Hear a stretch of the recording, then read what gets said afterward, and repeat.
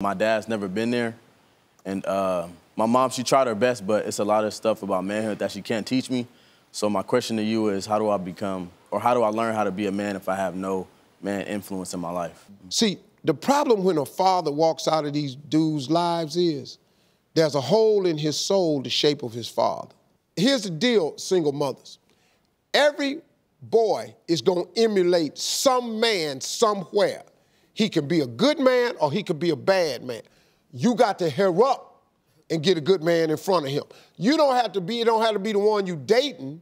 I ain't saying you got to go out and find a man that becomes his daddy and all this here.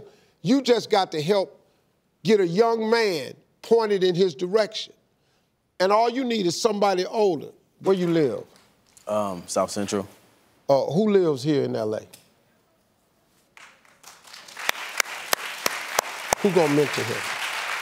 We got my number too. We got my number too. Three. Four. Okay.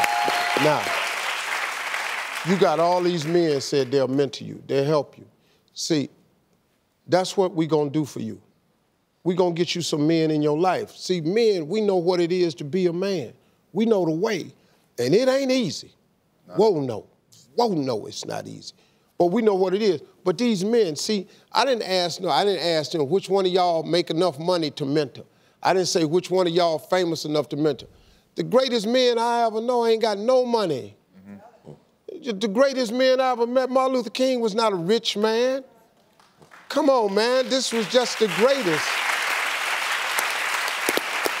My father was not a rich man, he was just the greatest. So this dude, mentor you, this dude, you get all their numbers. My son, you in South Central, I got dudes, man, we know how to grab each other because we know the way. All us been 19. Mm-hmm. You the young dude in the group. We're gonna put our arms around you and we're gonna get you where you trying to go to.